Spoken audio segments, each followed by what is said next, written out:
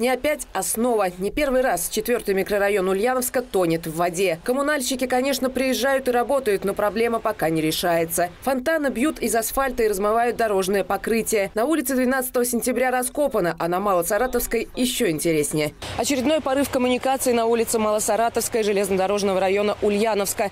Посмотрите, какая река. Авария произошла примерно в 3 часа ночи. Поток не такой сильный, как недавно был на Пушкинской, когда полдня по дорогам текла горячая вода. Местные жители устали от регулярных аварий. По 12 не пройдешь, и здесь не пройдешь. Но такого еще сильного не было вот ни разу.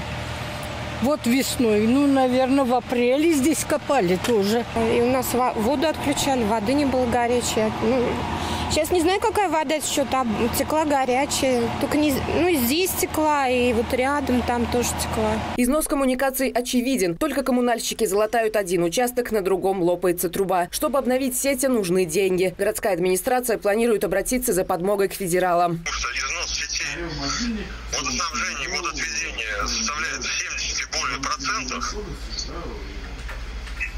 Поэтому требуются большие средства для их. В мэрии пообещали отремонтировать этот участок к концу дня, после чего холодное водоснабжение будет восстановлено. Виктория Черкова, Даниил Сурков. Улправда ТВ.